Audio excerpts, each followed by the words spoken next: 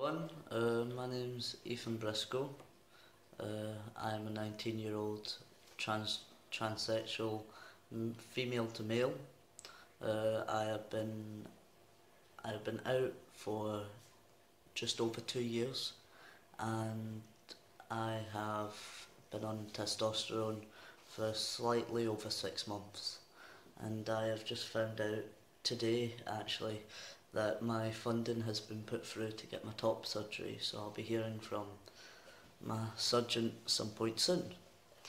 But uh, this is just a little video to uh, kind of document how coming out and being trans and all the changes have been for me. So yeah. Uh, well first off like I said I came out about two years ago. Before that, I was not much of a girl, to be honest. Some people, when they see old photos of me, which you'll see at the end of this video, uh, when they see old photos of me, they think that I look like a drag queen. So, yeah, that's always a good thing, you know. Uh, but my life post-trans uh, wasn't amazing.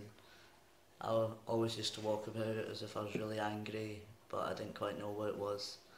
Um, I did come out first as a lesbian because that's what people used to say to me, or or you're just different because you're gay, stuff like that. So I came out as a lesbian. I thought, all right, that's me. I'm, that's me sorted now. I'll hopefully be a little bit happier. But I still wasn't that happy. Uh, and then when I started my first, my second year at college, um, doing first year dance, I met someone who had a brother who was, who has a brother who's transgender.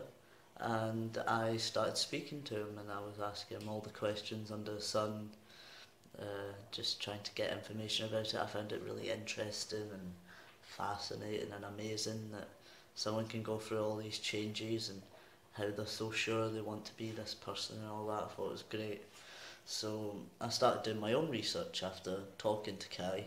Um, so I was doing my research and I was looking things up and I was things were running through my head. I was trying to piece things together and it wasn't until I thought when I was looking at some of the videos on YouTube uh, from trans people, how some trans people said um, that when they tried to imagine themselves growing old, they couldn't imagine themselves being the gender they were assigned to at birth, but they could imagine being the gender that they wanted to be.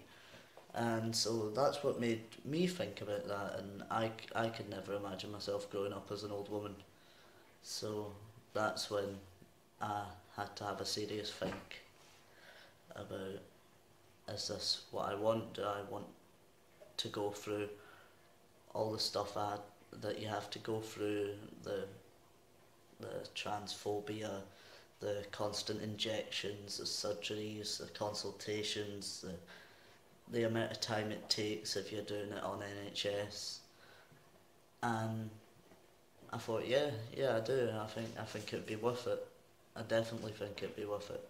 So I came out to Kai first, and I asked him, uh, how how do I go about telling my mum? So he just said, just I just came out to my mum and I just came right out and said it. So I thought, right, might as well give it a try. She was alright when I came out as a lesbian. She was really supportive. That was all fine. So I called mum into my room and I said, Mum, listen, I think I want to be a man. And the first thing she said was no. And I was like, what? What? What do you mean no? And she just kept repeating no over and over again. So that I can't really say that that went well, but it could have went worse. Uh, but now my mum's completely supportive, 100% there for me all of that. She goes out and she gets me clothes and stuff that she'll think I like and all of that.